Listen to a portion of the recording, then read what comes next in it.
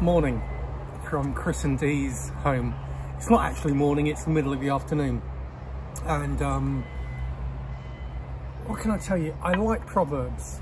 So there's roughly 30 days in the month and roughly 30 Proverbs, chapters of Proverbs.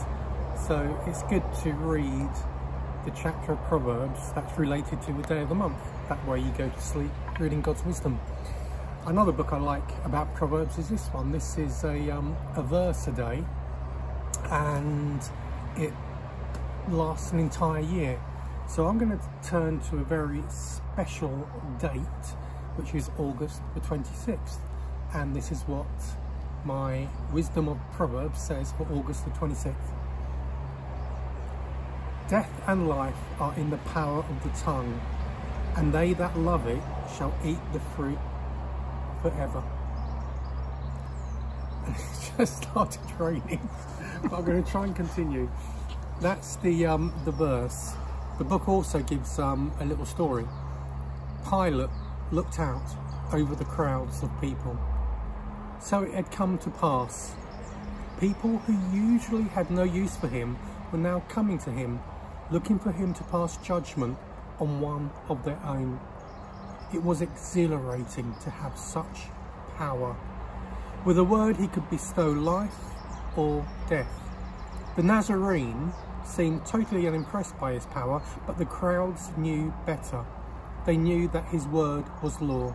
No matter how many times he called upon to pronounce sentence, he still grew tense with excitement.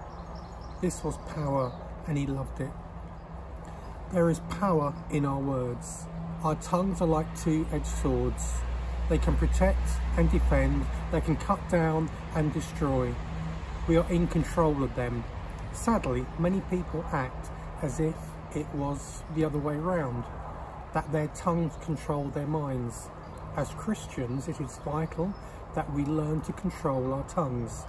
James compares the tongue to a rudder. When a rudder is left untended, the ship flounders. Likewise, when our tongues are uncontrolled, the result is disaster.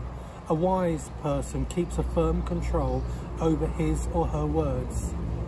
Only words of life and light should be spoken, and with God's help, we can hope to always have such graceful speech.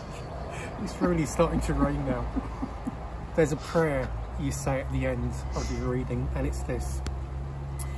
O Lord, take control of the rudder and steer this humble vessel. Use the words of my mouth to minister to the needs of others. Let the will of my heart always precede the words of my mouth. I like being compared to a vessel, a ship. A ship lays safe when it's in the harbour, but ships aren't meant to lay safe in the harbour. They're meant to sail. it's pouring down. and it's true to say, every sailor will tell you, a smooth sea never made a good sailor.